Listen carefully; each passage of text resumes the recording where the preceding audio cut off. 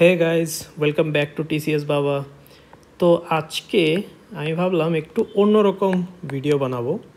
অন্যরকম video in a sense today I thought কি TCS TPS যেহেতু mains is near by and result এখনও বার হয়নি। তো এই ত্রিপুরা হিস্ট্রির ব্যাপারে I start a series something like that. That's what i am hoping.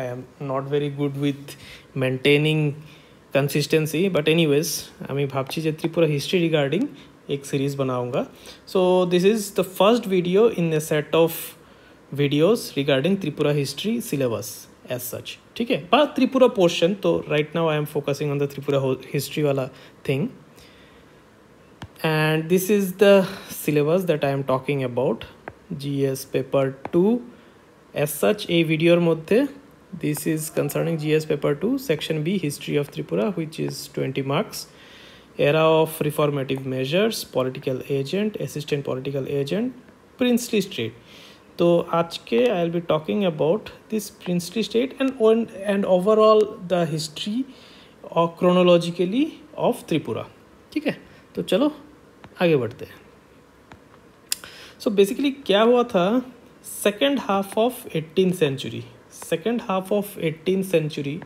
मतलब सेवनटीन फिफ्टी फिफ्टी के आसपास India was under British Raj but उस टाइम पे क्या हुआ? That there was a crystallisation और consolidation of the British area and several princely state areas now ये British India तो was a huge portion this princely India मतलब princely states were about six hundred अब exact number is not known different historians have different numbers तो exact number is not known तो just say कि about six hundred princely states were there and it was about the area for six hundred state it was about one third of Indian subcontinent ठीक है? and uh, the population as such the population was about one fifth one fifth of indian population ये था British India and princely India and Tripura was one of that princely state एक map दिखा रहा हूँ सी यहाँ पे है अपना त्रिपुरा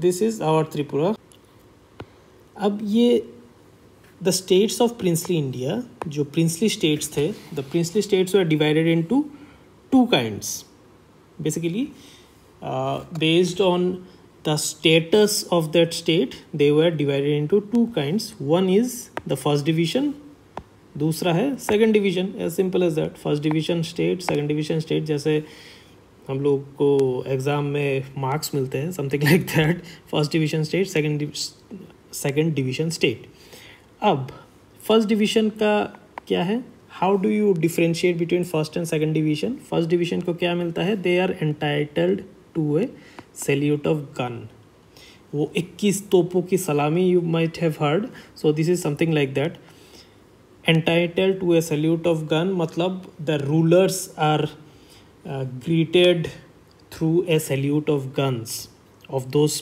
princely states ठीक है? And those states had full powered and they were fully powered in internal administration with their own laws, own administration own army own police ठीक है? ये सब उनके पास अपना था, अपना रख सकते थे। The rulers had absolute power over the life और डेथ ऑफ़ देयर सब्जेक्ट मतलब कि in their area in their jurisdiction उस स्टेट पे they could decide on the punishment किसको कितना देना है वेदर द लाइफ और death of any of the subject of their jurisdiction was with the power of the king. और second division state में क्या है? ऐसा कुछ था ही नहीं. As simple is that not entitle to salute of guns no such other privilege ऐसा कुछ था ही नहीं. सो दे वेयर मोर और लेस अंडर द वो ब्रिटिश गवर्नमेंट के अंडर ही थे। नाउ दैट तोपों की सलामी the gun salute so those were also divided into various kinds Tripura had thirteen gun salute का स्टेटस ठीक है? Nine gun salute eleven gun salute इक्कीस तोपों की सलामी that you might have heard those were for this Baroda, Gwalior, Hyderabad, Jammu and Kashmir, Mysore. Only they were 21 Topoki salami wale st- uh, princely states and Tripura was among so many other states who had 13 guno, gun ki sal- salami, 13 gun salute. Now the question is uh, why being such a small state and insignificant in terms of uh, your uh, economy also. Why was tripura given the first category? ये question तो obviously मतलब आता ही है। इतना superior category why was it given the reason being is Tripura is ruled by one of the oldest of Indian dynasty ठीक है? वो हम बाद में जानेंगे and the history is written in Rajmala ठीक है? हु रोड राजमाला बता देना नीचे कमेंट्स पे। ठीक है? तो apart from that Tripura Raj. Tripura Raj had for generation been a great stabilising force in the area abundant with hill tribes तो हिली ट्राइब्स तो were there and Tripura Raj was responsible for keeping the keeping the area stable as such stabilising force जिसको बोलते हैं। Because of this two reasons that's why Tripura Raj और Tripura as a princely state had such importance to the British government also ठीक है and that's why Tripura uh, as a princely state was given the first category such special category ठीक है अब आते हैं what are the unique features unique features of princely Tripura देखो, princely Tripura is part of your syllabus तो princely Tripura के बारे में तो जानना ही है तुमको। So unique features of princely Tripura क्या है? एक है it was ruled almost uninterruptedly by a single dynasty known as Manikya dynasty. And at least from fifteen century जो मैंशनड है अपने राजमाला में। Uninterruptedly by a single dynasty Manikya dynasty से Tripura was ruled and a very important thing its ruler had no treaty relations with the British and had never paid any tribute except a token Nazrana on the occasion of succession to throne. Whenever there is a succession to throne, a no token of token Nazrana was paid. But as such, there were no treaty relationship. Okay. Plus एक बहुत ही unique चीज़ है। It's ruler है dual status अब dual status क्या है? देखते हैं अभी। डुअल स्टेटस क्या है? It's the territories of the state अब त्रिपुरा का जो अभी पहले, ये देखो, कहा गया। This this that you are seeing the Tripura का जो प्रिंसली स्टेट का एरिया है दिस त्रिपुरा का स्टेट का area was divided into two distinct parts ठीक है? त्रिपुरा का एरिया कुछ ऐसा था। It's divided into two distinct parts hills in the east and plains in the west अब हिल्स इन द ईस्ट जो है, वो ईस्ट साइड पे जो हिल्स थे that is called hill Tripura. और plains this is the hilly part this is the plain part इसमें बांग्लादेश के भी पोर्शन है। That is called Chakla I don't know if I am pronouncing correctly Chakla Roshanabad अब ये चकला रोशानाबाद क्या चीज़ है भाई? किसने नाम दिया? The name was given by Nawab Shujauddin of Bengal renamed the plains of Tripura to Chakla Roshanabad Chakla means circle Roshanabad means land of light so ये है the plains of Tripura Tripura as such अब इससे भी interesting क्या चीज़ है आते हैं नेक्स्ट स्लाइड पे so basically divided into two distinct parts hills in the east plains in the west okay and hills in the east called hill tipra and plains are called chakla roshanabad अब जो hills in the east है the hilly part they are the rulers were independent rajas ठीक है?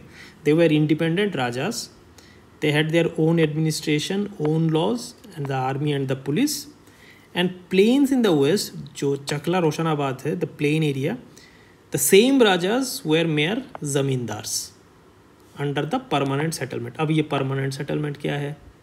Permanent settlement तो you must have read in Indian history किसने किया था? Lord Cornwallis ने.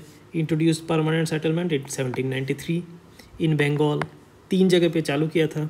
बंगाल उड़ीसा बिहार अब zamindars were recognise as the owner of the land zamindars were recognise as the owner of the land and revenues were collected by them zamindar है owner of the land वो collect करता था revenue now they were to pay a fixed amount which was permanent and would not change in future to the government एक परमानेंट फिक्स्ड अमाउंट है that's why it is called permanent settlement the zamindar would stay the owner as long as he paid the fixed revenue at the said date. ठीक है?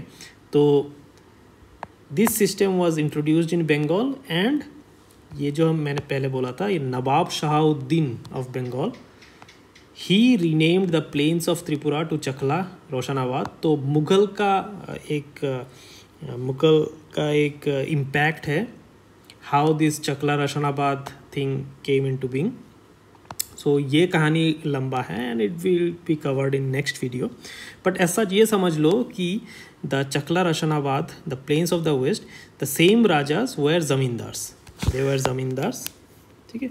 And they had to pay revenue to the British government ठीक है सो uh, एक जगह पे त्रिपुरा के एक portion पे this portion they were zamindars this portion they were rajas they were independent they had their own laws they had their own army and police and here they were zamindars a mayor under the permanent settlement okay now as zamindars rajas were under british jurisdiction सही है। मतलब इधर पे British jurisdiction के under है। But as rajas of hill Tripura they were beyond the pale of British jurisdiction इधर पे British jurisdiction का कुछ है नहीं इनका। ठीक है? तो ये चकला रोशानाबाद ही ये उल्टा सीधा बहुत कुछ कर लेता है। इस पर तो थोड़ा प्रॉब्लम है। अब Chakla Roshanabad, Chakla was a part of British India ये तुम समझ गए ना? ऐसे वाला portion so this is the plain this is where zamindari and this is where their rajas अब ये चकला वाला पोर्शन जहाँ पे ज़मींदारी सिस्टम चल रहा है permanent settlement is there that means it was a part of British India. But at the same time, it was an integral portion of the impartible Raj. Tripura Raj Tripura Raj का impartible राज का part है ये Chakla Roshnabad since because it was integral portion of the Tripura Raj, the normal zamindari rules were not applicable to it. ये थोड़ा different type का हो गया ना कि नॉर्मल जमींदारी रूल्स यहाँ पे अप्लाई नहीं हो सकता because this is under the इंटेग this is a part this was an integral portion of the Tripura Raj এখানেই যে রাজা আছে দিস রাজা and his Raj is extended to this uh, plain area also which is called Chakla Roshanabad. But this is also part of the permanent settlement इधर पे zamindari rules थोड़ा different चलता है now on one hand on one hand it could not be auctioned like other zamindaris even in default of government revenue ठीक है permanent settlement में क्या mention किया है? As long as you pay a fixed amount which was permanent and would not change in future to the government zamindar would stay the owner as long as he paid the fixed revenue on at the same date अब यहाँ पे यहाँ पे if they default मतलब default का मतलब क्या है if they don't pay if they don't pay on that day यहाँ पे in a normal zamindari case it will be auctioned by the British government अब यहाँ पे क्या चीज़ है इशू है? On one hand it could not be auction like other zamindaris even in default of government revenue because because क्या है? Because it was इम्पार्टिबल ठीक है? इम्पार्टिबल मतलब क्या है? It's an integral portion of an impartible Raj on the other hand it was always beyond sale beyond sale वो बेच नहीं सकते because none other than the rajas of Tripura could acquire its proprietorship अगर इसको बेचना भी है तो फिर वो त्रिपुरा के राजा ही इसको, इसका प्रोप्राइटर हो सकते हैं, इसका मालिक हो सकते हैं। सो बेसिकली चीज़ क्या है? It was a zamindari of a specific Raj and the succession to the zamindari was always dependent on the succession to that Raj मस्त चीज़ है। सिंपल है। ये एक ज़मींदारी ऐसा है which is zamindari of a specific Raj only and the succession to the zamindari, इस ज़मींदारी का जो भी सक्सेशन नेक्स्ट जो ज़मींदार बनेगा that is similar to next जो राजा बनेगा। ठीक है? इंटरेस्टिंग है? तो this is how the Tripura's history has progressed अब नेक्स्ट वीडियो में क्या देखा जाएगा कि ये मुगल्स कैसे रिस्पॉन्सिबल है फॉर द डिवीज़न ऑफ़ ऐसे ऐसे अजीब सा, ये अजीब सा चकला रोशानाबाद, ये हिल तिपरा, ये सब डिवीज़न कैसे हुआ? मुगल्स वेर रिस्पॉन्सिबल कॉन्कर हुआ था Tripura and Tripura also fought back ठीक है? कैसे हुआ, कैसे नहीं हुआ, कैसे क्या क्या चीज़ें हुए थे? All these things will be covered in the next video. So, stay tuned for the next video. देखते रहो and this is how I will progress अच्छा लग रहा है even I am also reading and I am also learning many things अच्छा लग रहा है एंड आई थॉट कि I should share this with all of you guys तो प्लीज़ शेयर करना अच्छा लगे तो लाइक करना अगर कुछ समझ में ना आए या फिर something that I have spoken wrong तो फिर कमेंट करना डोंट फॉरगेट टू कमेंट और सब्सक्राइब। चलो बाय